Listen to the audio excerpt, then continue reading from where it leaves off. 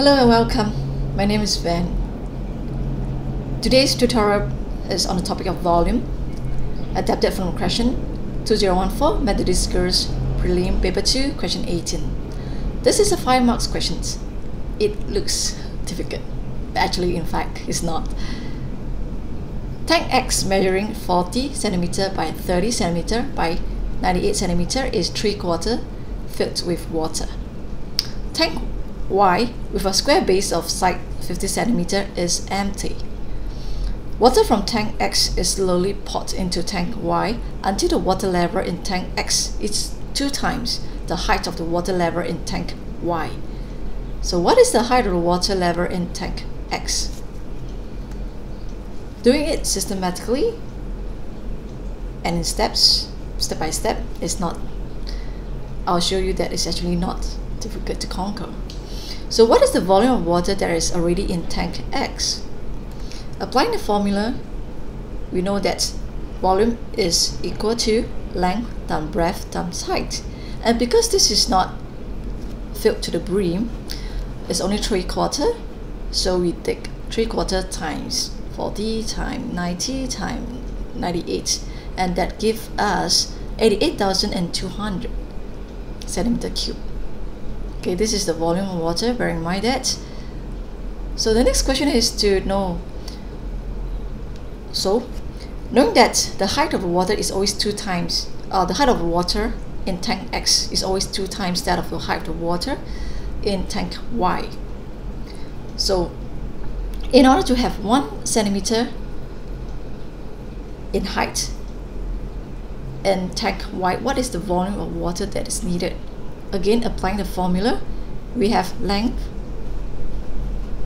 times breadth times the height which is 2500 but bear in mind that for tank X is two times so when the level um, when the height of the water in tank Y is has risen by one centimeter there should be a corresponding increase of two centimeter in height in tank X so tank X, what is the volume of water for every 2 centimeter rise in height?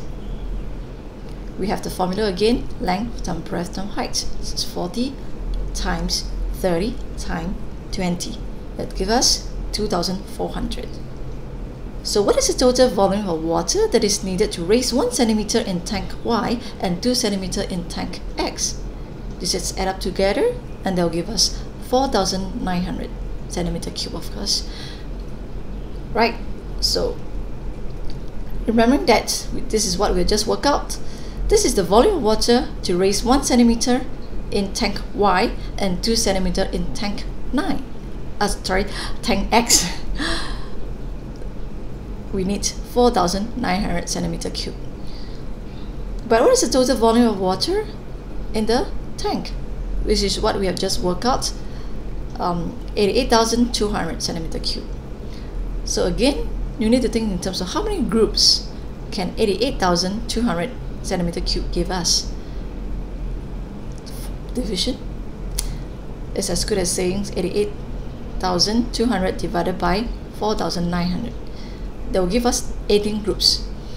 18 groups of every increment or every rise in 1 centimeter in tank Y and 2 centimeter rise in tank X.